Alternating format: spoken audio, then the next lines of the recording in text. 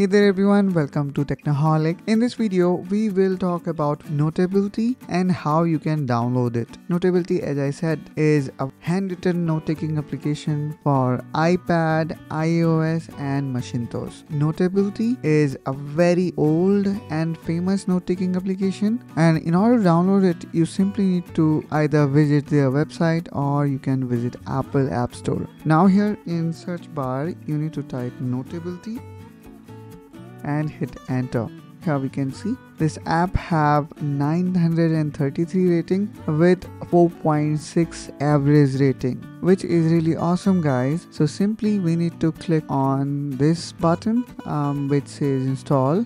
And if you are installing it for first time your Apple device might also ask you to provide ID and password. So provide that and in this way you will able to download it. And we can also see one of its main rival or competitor which is GoodNotes. So if you want to know more about GoodNote which we will cover in another video on another day. But today let's focus on Notability. So here we can see we have successfully installed it. Now simply click on open now let's wait for a while. And there we go. Here we can see uh, we have opened notability. And here also we can see i have used this application extensively. And now i cannot use it anymore.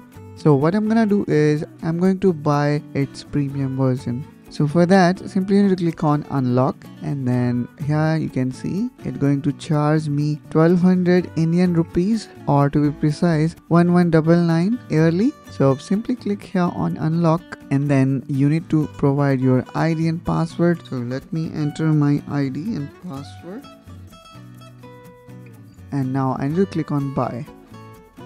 Now after that you will see this subscription term. So simply click on continue and then you need to confirm the subscription and now here it is asking me to add payment information for that I need to click on billing info and here I need to provide my credit card detail. So in this way guys we can install Notability in our macOS device. I hope guys you find this video helpful and informational. Please do let me know if you have any kind of doubt or question in your mind and I will try to answer your question in comment down below. Till then you take care and bye bye.